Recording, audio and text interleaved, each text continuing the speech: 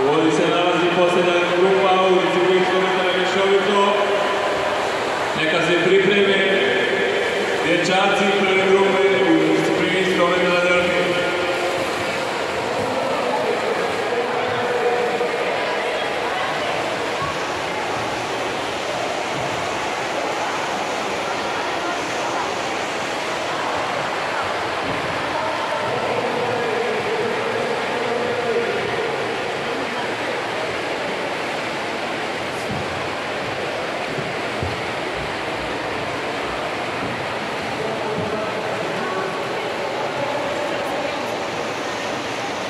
Move!